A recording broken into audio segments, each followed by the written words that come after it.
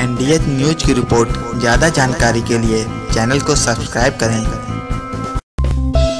Tiger Shroff starrer बागी दो ने बॉक्स ऑफ़िस पर ज़बरदस्त शुरुआत की है। फ़िल्म ने पहले दिन घरेलू बॉक्स ऑफ़िस पर 25 करोड़ की कमाई की है। यह रणवीर सिंह और दीपिका पदुकोण स्टारर पद्मावत का रिकॉर्ड तोड़ते हुए 2018 की अब तक की सबसे बड़ी बॉक्स ऑफ़िस ओपनर बनी है। गौरतलब है कि डायरेक्टर संजय लीला भंसाली की फ़िल्म पद्मावत ने पहले दिन बॉक्स ऑफ़िस पर 19 करोड़ रुपए कमाए थे। अक्षय कुमार की पैडमैन और अजय देवगन की रेड इससे काफ़ी पीछे छूट गई है। डायरेक्टर अहमद खान की फ़िल्म है बागी दो।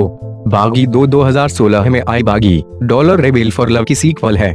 साजिद नाडियाडवाला के प्रोडक्शन में बनी इस फ्रेंचाइजी की पहली फ़िल्म को शबीर खान ने डायरेक्ट किया था तो वहीं दूसरी फ़िल्म के डायरेक्टर अहमद खान है।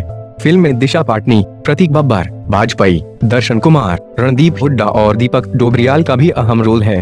फ़िल्म में जैकलीन फर्नांडीज आइटम नंबर एक दो तीन में दिखाई दी हैं।